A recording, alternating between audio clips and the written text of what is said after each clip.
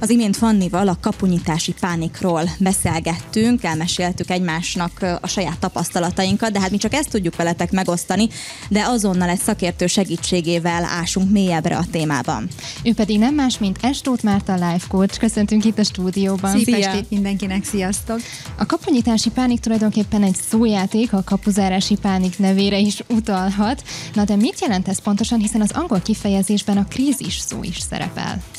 Szerintem inkább krízis, mint kapunyítási pánik, hisz a kapunyítási pánikot nagyon másképp élik meg a fiatalok, és nagyon más korszakaszban. Tehát van, akinél egészen fiatalon, 14 évesen megmutatkozik, a nagy kérdéseknél már a presszióval, amit a felnőttek fel, bevisznek a mindennapokba, mi akarsz lenni, ha nagy leszel, már döntened kellene, uh, innen is indulhat, aztán megint van egy szakasz a 18 éves kornál, hogy most egyetem, nem egyetem, melyik egyetem, hova elég a pontszámhoz függ, tól függően, és aztán van a 25 év, tehát a 25 éves kor azt hiszem nagyon-nagyon jól lehet delimitálni, hogy ott már befejeztük az egyetemet, vagy még nem, de már illik valahogy felnőttnek viselkedni felnőttként, azért már ha nem albérletbe laksz, akkor az már ciki, de ha albérletbe laksz, akkor hogyan is laksz albérletre, milyen sűrűn mész haza a szülőkhöz, mennyi pénzzel támogatnak a szülők. Nagyon-nagyon sok kérdésre egyébként szégyennel is válaszolnak a fiatalok, és aztán van a 30 év. Én azt hiszem, hogy a legnagyobb krízist a 30 évesek Hát akkor meg. azt még nem éltük meg, az még hátra van az életünkben. Egyébként ez mennyire egy új keletű jelenség, akár még a szüleinkkel is előfordulhatott, mert hát ugye ahogy visszamegyünk generációkra, akkor minél korábban történt a, a szülőktől való elválás, korábban kezdtek el családot alapítani, megállapodni.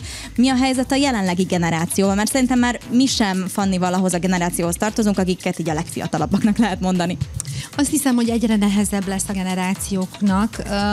Azért, mert amikor még a szüleinknél a két legnagyobb presszió, a mikor mész férhez és mikor lesz gyerek, és a munka már szinte adott volt, hogy hát valamit majd csak dolgozunk, hisz van bőven miből válogatni. Ez most meg, meg sokszorozódott, mint, mint presszió, mint probléma, és innen is jönnek ugye a pánik rohamjaink, amikor jönnek, meg a különböző stressz tüneteink, mert nem csak egy dolognak kell, hogy megfeleljünk, hanem 1100 dolognak kell megfelelni. És akkor itt van a megélhetés, itt van a jövőkép, a jövőkép hiánya, itt vannak most a, a nagy problémák, a pandémia, a gazdasági válság, van egy háború, és próbálj így tervezni, és válaszolni saját magadnak elsősorban, hogy mit kezdek magammal a következő három évben, és aztán jön a társadalom kérdése, hogy akkor mi lesz a jövőben? Hát nem tudod, hogy mi lesz. De vajon miért lehet az, hogy a mostani generációnak ez nehezebb, mint korábban? Mert ezt már egy interjútban mondtad, hogy most sokkal nehezebb neki. Nehezebb, most is azt mondom, hogy nehezebb, mert sokkal több az elvárás felétek, mint felénk volt, vagy mint például a szüleim, vagy a nagyszüleim felé. Sokkal több az információ. Olyan szinten jönnek a különböző minták, modellek, irreális modellek, amelyeknek úgy gondoljátok, hogy meg kellene felelni, gondoljuk, hogy meg kellene felelnünk, és képtelenség. És nem tudunk lépést tartani a nagyon-nagyon sok nem reális elvárás, amit magunknak állítunk, és a társadalom állít föl nekünk. Meg ha már annál tartunk, hogy valami nem reális, én azt is szoktam mostanában tapasztalni a közösségi médiában, hogy nagyon sokan ö, így kerülik a munkát, vagy hát legalábbis ö, nem felé megy a világ, hogy valaki egy kézzel fogható munkát, vagy karriert építsen fel magának, és akkor itt most az influencerekre gondolok, vagy a vloggerekre, youtuberekre, ami nagyon könnyen elérhetőnek tűnik, de azért mégsem annyira egyszerű, hogy valaki ezt a célt tűzi ki magának a fejében. Hogy látod, hogy a mostani fiatalok mennyire vannak képben azzal, hogy ők igazából mit szeretnének csinálni, hogy mennyire szeretnének munkát vállalni? Uh, nagyon komplex a kérdésed. Ha elég időnk van, akkor ezt lebontom egy picit. Az egyik az influencerek tábora, azt hiszem inkább ne említsük, jó? Mert ez egy gyorsan kifutó munka, lehet csinálni 5-6, max 10 évig, de hogy utána mi lesz. Persze, sok pénzt lehet keresni.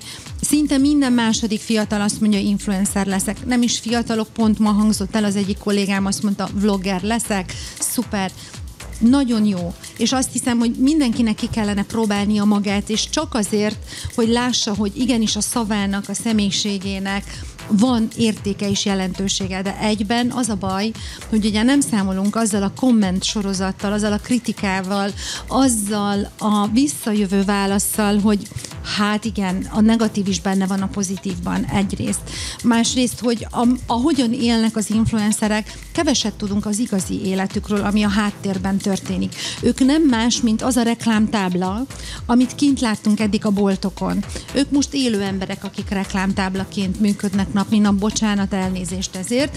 Nem címkézni szeretnék senkit, de hogy tudni kellene ugye többet róluk, hogy mit szenvednek el a, a hétköznapokban. Akkor nem érdemes követni az ő példájukat. Érdemes kipróbálni. Én azt mondom, hogy érdemes kreatívnak lenni, de ne a pénzért tedd, ha teszed, hanem tedd, mert mondandód van. Tedd, mert úgy gondolod, hogy érdemes kipróbálnod valami újat. Megmutatnod magadat, nyilván bizonyos határokon, egészséges határokon belül meg kell mutatni magatokat. Azt hiszem, hogy, hogy a most 16 és 30 közötti generációnak a legnagyobb problémája a frusztráció. Az, hogy nagyon sok minden akarok egyszerre lenni, nem tudok az a sok minden lenni, sok mindent elvárnak tőlem, de azt se tudok, tehát mi a legjobb, ha azt mondom, nem akarok dolgozni. Mindez akkor a kapunyítási pánikhoz is elvezethet, de akkor mi a megoldás? Hogyan lehet ebből kilépni, vagy könnyedén áthidalni? Én egy nagyon elcsépelt mondatot fogok használni, és nagyon szívből jövött, és tényleg ezt írja azt hiszem minden, minden szak,